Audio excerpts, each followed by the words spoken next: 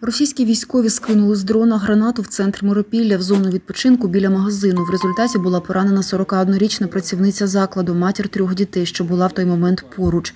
Жінка померла в автівці через масивну кровотечу від уламкових поранень.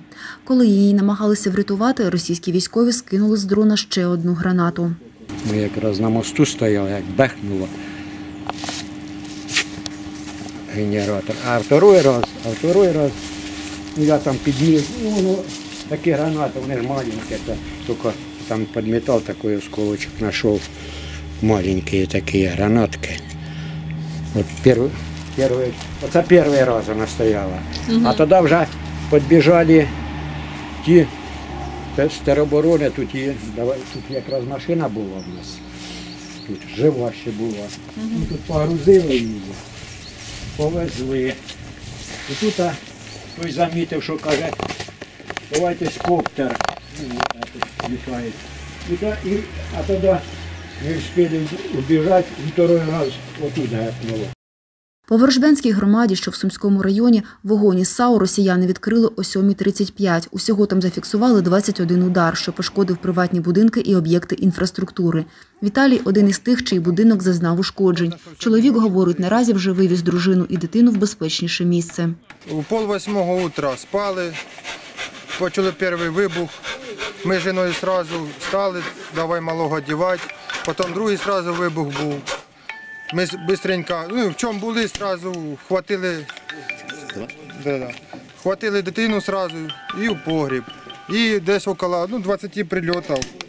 Чутно було виліти і прильоти. Соответственно. Ну, билися, ну, чутно було виліти зі сторони Росії, з Тьоткіна. Світлана розповідає, 40 хвилин у погребі перечікували, доки закінчаться обстріли. На її обійсті постраждали дахи будівель. Мало не загинув пес, поруч із яким прилетів снаряд. Як прилетіло воно з першим прильотом, ну, так і підірвали одразу. В чому були роздягнуті всі, діти не встигли, ну, погріб заскочили. Його тільки заскочили, і ще не встиг чоловік заскочить. Прилетіла вже сюди біля двору. Усе, ну, почули, що стекла вилітають. Собаки ну, 10 жизней, наверное.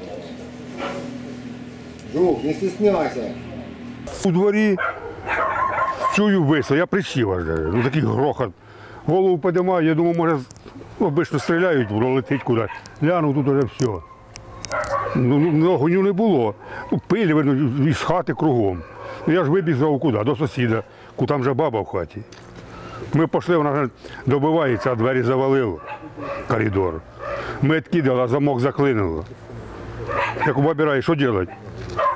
Вона каже, ну що не знаю, що роб- що не робіть. Коли зять з дочкою приїхав, ломом двері ви- ви- вирвали її, витягнули. Перший вибух, коли почули, почали оголошувати по громаді тривогу, щоб люди спускались в укриття, що у кого є.